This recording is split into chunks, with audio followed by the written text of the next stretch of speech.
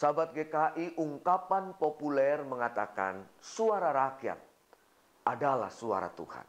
Di balik ungkapan tersebut hendak dikatakan bahwa jika orang kebanyakan mengatakan A, maka A dianggap sebagai sebuah kebenaran. Logika suara terbanyak ini tidak sepenuhnya benar.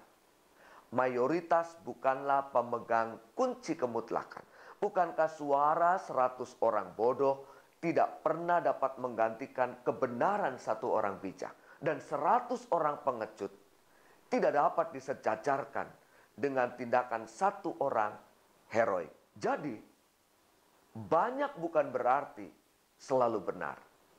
Dan berteriak keras tidak selamanya paling tepat. Jadilah bijak dalam memilih dan bertindaklah benar dalam bersikap.